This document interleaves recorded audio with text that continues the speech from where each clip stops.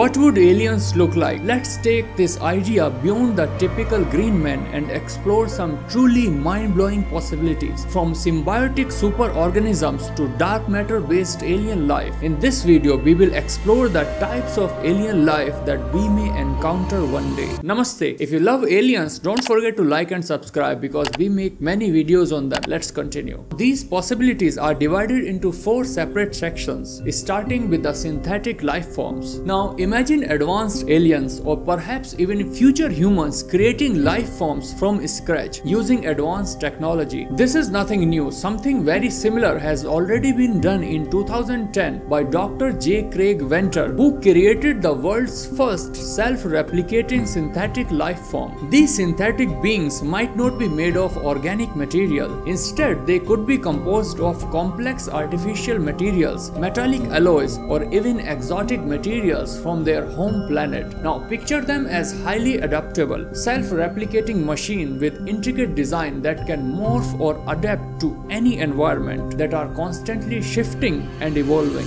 Next, we have the idea of non-carbon based life forms. Carbon is the backbone of all life on earth because of its ability to form complex molecules. But what if aliens use a completely different element as their foundation? Silicon is often featured as a potential alternative due to its chemical similarities to carbon. Silicon based life forms would have a similar complexity to carbon based life but with key differences due to silicon's chemical properties. Imagine creatures with bodies similar to crystal formations, glittering and reflecting light from their skin. Such life might even thrive in environments with higher temperature and less oxygen. Now let's push the boundaries even further. Imagine encountering alien life forms that defy everything we know about biology. What if instead of having solid flesh and blood bodies, these beings were made of pure energy fields or plasma? These creatures would manipulate their shapes at will, existing in states of matter that are entirely alien to us, or even life form composed of dark matter, a substance that remains mysterious and invisible to us. These dark matter beings might interact with the visible world through gravity or in ways that we can only imagine. Finally, let's dive into the concept of symbiotic superorganisms. Imagine this a single intricate being that's not just one creature but a whole bunch of smaller life forms working together in perfect harmony. Instead of one organism, you have got a group of different species all functioning as one, all functioning as a unified entity. Think of it a living, breathing ecosystem packed into one. Even tiny part plays a crucial role in keeping the whole system alive and running smoothly. I know it sounds something straight out of a video game. The fact that we are already seeing similar ideas in our digital world makes the thought of such organism existing in real life even more likely. So what do you think? Are we going too far with this or it is actually possible? Let me know in the comments below.